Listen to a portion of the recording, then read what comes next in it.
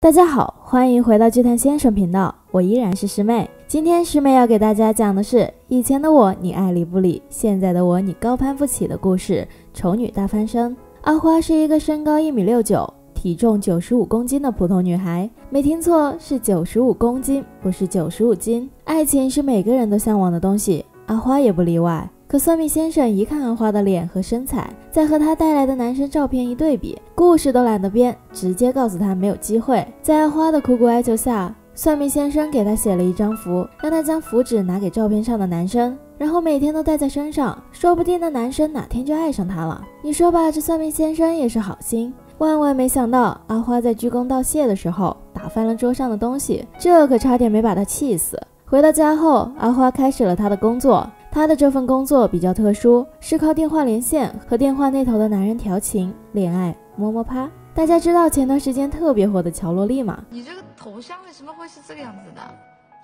因为我放了一个上去，我不能露脸，我要过十万订阅才能露。然后到时候，本来我是个颜值主播的，阿花就和他差不多。我们看到的她是整天小哥哥小哥哥网恋吗？我萝莉音的那种女孩，而实际上却是一个大妈。这样想想，是不是鸡皮疙瘩都起来了呢？悄悄说一句，师妹绝对没有不尊重大妈的意思，别骂我呀。在阿花眼里，这份工作不用露脸，还不用出门，只需要动动嘴就有大笔的收入，何乐而不为呢？其实这份看起来不太正经的工作，只是阿花闲暇时间的一份兼职。她真正的职业是一名歌手。只是这个歌手和我们理解的歌手不太一样，他主要是负责帮一个叫娜娜的人假唱，也就是说，娜娜在观众面前的舞台上发光发热，对口型，而阿花呢，则是在后台替她唱歌。阿花天籁般的嗓子给娜娜吸引了无数粉丝，可娜娜却对这个给自己带来无数好处的女人一点也不友好，经常嘲笑她的身材和长相。每当这个时候，只需要某个男人的一个拥抱，阿花受过的所有委屈。都可以被他憋回肚子里。这个男人名叫铁牛，他是阿花的暗恋对象，也是算命那天照片上印着的那位。阿花本就暗恋着铁牛，铁牛这一抱一撩，很难不让他多想啊。少女怀春时的模样，应该就是阿花现在的样子吧？每当这个时候，阿花的闺蜜玉莲总是能一语中的，让她从梦里醒来。世界上的女人分为三种：极品、真品，你就是那被抢着退货的残次品。要说阿花已经不小了。恋爱也谈过，怎么还会如此单纯呢？那还得怪她的初恋男友了。阿花的初恋男友是一个卖减肥药的骗子，骗完阿花的钱后，他立马转身和阿花提了分手。甜甜的恋爱还没谈够，就已经结束了。阿花自然是难受的。从那天起，阿花就下定决心，一定要趁着这个机会减肥。结果，狗屁初恋男友的减肥药直接吃的她进医院了。这个打击让她明白过来，自己还是别想什么减肥的事情了，乖乖唱歌才是王道。铁牛生日的前一天，他收到了一条铁牛寄过来的裙子，穿上的那一刻，嗯，还挺好看的。算了，我重说，姑娘，您还是换条裙子吧，一定比这好看。该死，阿花没有听劝，依旧穿着那条红裙去到了生日会上。别以为外面套了个外套，我就看不出你里面穿的是啥了。这么热的地方穿两件的后果，还不是要脱掉？众人看着阿花，不由张大了嘴。这这时候，娜娜也来到了生日会上。巧的是，她身上穿着的也是这条红裙，但不巧的是，阿花身上那条裙子正是娜娜为了羞辱她，以铁牛的名义寄给她的。撞衫不可怕，谁丑谁尴尬。这个两人同框的画面，坚定了师妹要减肥的心。只是中场休息的这一小段时间里，铁牛和娜娜竟然背地里说起了阿花的坏话。别看铁牛对阿花挺热情的，其实他比谁都坏，对阿花也只是因为他有利用价值罢了。正常男人谁会看上阿花那样的女人呢？不巧，两人的对话全部被身后隔间里的阿花给听了去。所以，为什么编剧总是喜欢让人在厕所里讲坏话，又让他们被发现了？铁牛的话将阿花的心伤的那叫一个惨的呀！精神恍惚的阿花回到家中，用胶带将所有的地方都给封了起来。一般将家里封起来的人都是准备开煤气自杀的，阿花就是一个标准的例子。将她及时从悬崖边上拉回来的是一通电话，打来这通电话的人是他摸摸啪电话的一个老顾客。这个男人是首尔一家整形医院的医生。灵光一闪，阿花的脑子里已经有了一个危险的想法。撇开全身手术的难度不说，贷款做手术是想怎样了？人家是要挣钱的医生哎，又不是慈善家。那没办法了，阿花只好拿出前一晚刚录好的。他和整容医生的电话摸摸啪过程用来威胁，都这样威胁了，整容医生哪里还敢不答应阿花的要求？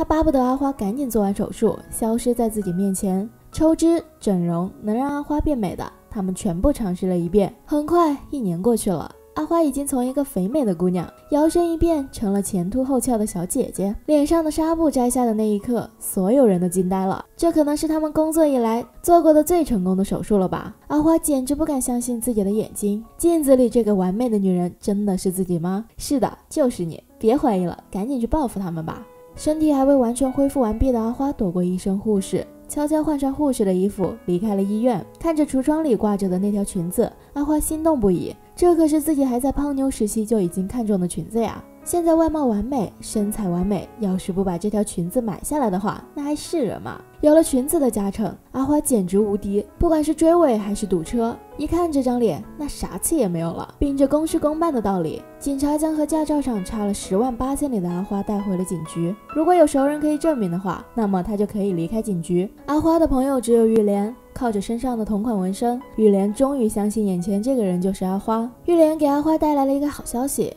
自从一年前阿花消失后，娜娜没了替身，已经一年没有出过新专辑了。最近铁牛他们正为了给娜娜找替身的事情发愁，或许阿花去面试的话，可以再次成为娜娜的替身。几天后，阿花果然去到了面试现场，她一开口，惊艳了在场的所有人。铁牛盯着阿花的脸看了许久，总觉着有些眼熟。就他那双和瞎了没啥样的眼睛，当然不会认为眼前这个女人会是以前肥美的阿花。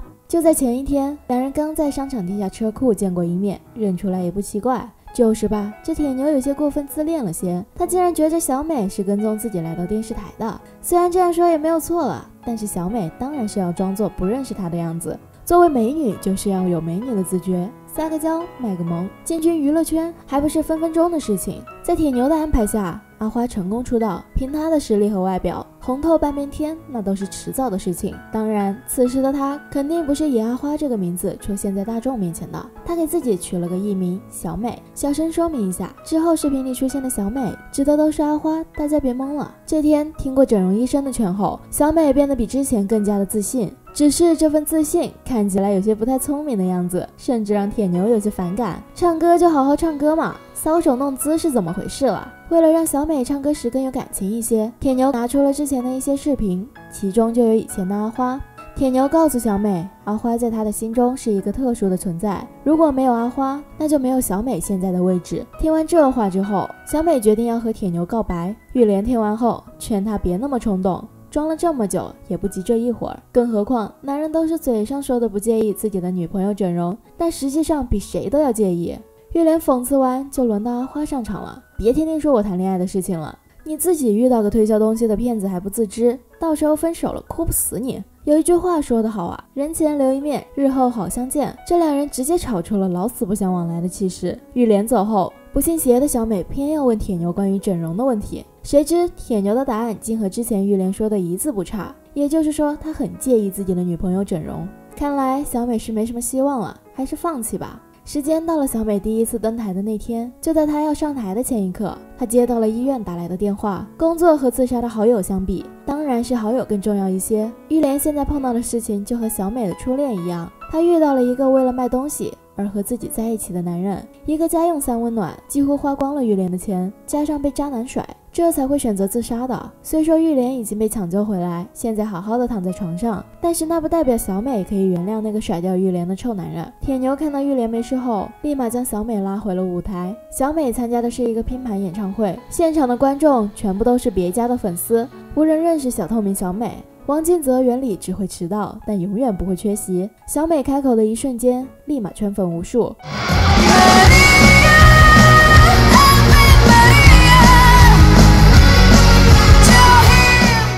爆红之后，小美的歌声几乎征服了所有人，其中也包括铁牛。尴尬的是，小美这从头到脚都是假的，摸胸不自然，接吻怕鼻歪，那还能怎么办嘞？小美看着铁牛近在咫尺的脸。突然想起了自己拿手的调情方式，这个调情方式就是隔着玻璃来一通让人羞羞的电话。小美睡着后，铁牛心满意足地坐在椅子上休息。无意中，他看见了小美随手在玻璃上留下的符号，这个符号立马让他想起了阿花。果然，阿花的简历上画着和小美一样的符号。一瞬间，他想起了之前所有不对劲的地方，怪不得自己会觉得小美的拥抱会如此熟悉。一时间，铁牛接受不了这样的事实。小美醒来后，铁牛只让她将昨晚的事情忘记，当做什么都没有发生过的样子。这时候，娜娜将小美那精神有些问题的父亲带到她的面前，为了不让自己暴露身份，小美将父亲推开。其实她的内心也很痛苦。毕竟自己和父亲之间的感情非常好，他不知道的是，他已经没有装下去的必要了，因为铁牛已经知道了他的身份。当铁牛一脸冷漠，主动说出他的真名时，小美蒙圈了，原来自己的身份早已暴露，之前的一切在真相面前都显得有些可笑。美貌时，铁牛主动和他接触，但一旦知道了他的真实身份，就开始远离他。这样看重外貌的男人，还有什么喜欢的必要呢？次日。小美的真实身份和以前当替身的事情被人举报揭发，但在铁牛的坚持下，小美还是登台。可她始终跨不过自己心中的那道坎，她无法装作什么都没有发生的样子，然后以小美的身份登台。于是，小美勇敢地说出了自己替身和整容的事情。铁牛在合适的时候，将阿花唱歌的视频放映在身后的大屏幕上，一个是胖胖的阿花，一个是完美的小美，这样特殊的同框画面感动了在场的所有人。这是一件如此勇敢的事情。大家都愿意接受这样努力的阿花，也愿意为她呐喊加油。这场演唱会过后，阿花比之前更红，专辑一抢而空，代言接到手软，阿花终于实现了自己的梦想。至于铁牛呢，阿花还是选择晾着他，谁知道他现在喜欢的是自己这个人，还是他的外表呢？影片到这里就结束了。看完这部电影，师妹只想对铁牛说一句话：虐妻一时爽，追妻火葬场，活该。一个人的优秀与否，并不能仅凭他的外表判定，而他的外表也不该成为其他人的笑柄。但影片有的地方也没有说错，长相优越的人确实在生活中会受到优待。举个例子来说，当你在大街上遇到抢劫事件的时候，抢劫犯是一个长相绝美的人，而被抢的人是一个长相丑陋的人，这时候大部分人的第一反应都是站在抢劫犯的那一边，因为第一印象真的很容易让人判断失误。不过话又说回来。长相依旧不能成为我们判定一个人的标准，随意评价一个人那是不对的。好了，今天的电影就分享到这，喜欢师妹的小伙伴们记得点一点小铃铛哦，拜拜。